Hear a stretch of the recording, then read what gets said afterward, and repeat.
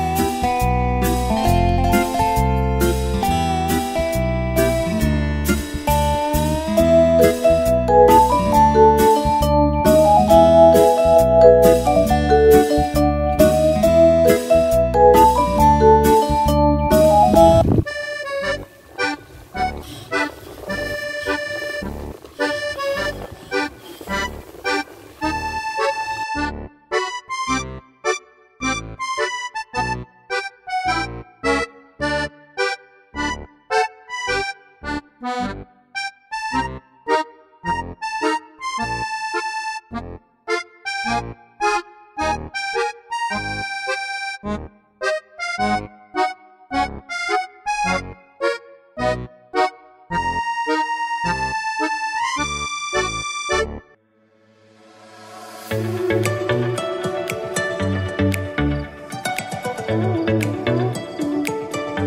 buhay, palaging may challenges. Walang kwento ang buhay kung walang pagsubok. Kung saan malalaman natin kung hanggang saan ang ating katatagan. Yung tipong parang hindi natin kaya. Pero in the end of the day, wow, nakaya natin. And that's life. Parang paksiw na pata. Walang sarap kung walang asim. Challenging life, pero masaya. Like may paksiw na pata. Super asim, pero malasa. See you on my next vlog!